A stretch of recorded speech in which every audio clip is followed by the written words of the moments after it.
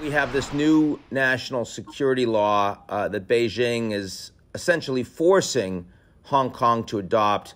Uh, you said the following This is the end of Hong Kong. This is the end of one country, two system.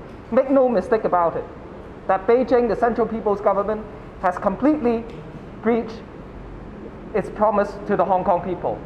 So, as one of Hong Kong's most vocal pro democracy leaders, I have to ask you if this is the end of Hong Kong, then what's, what's your next move?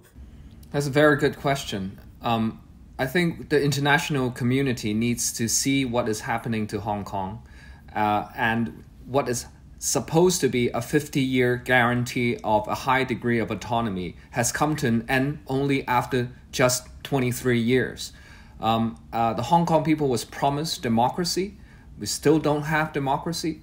Um, we were promised our freedom, and now they're trying to take away our freedom by directly legislating for this national security law and imposing it directly on Hong Kong, bypassing all our institutions, all our process, uh, which is not supposed to happen, but it's happening right before our eyes, and the world needs to know and needs to watch very carefully. Why do you think it's happening? I think it's uh, part of this uh, strategy by the People's Republic of China in trying to assert uh, itself onto uh, people uh, within the country, and also you can see that um, you know they are doing the same so-called wolf warrior di- diplomacy around the world, uh, asserting themselves everywhere. For Western viewers that aren't familiar with how Hong Kong and how your government in particular operates can you explain why certain members of Hong Kong's leadership, like the chief executive, Carrie Lam, would be putting Beijing's interest before Hong Kong's? Because she got her job because of Beijing.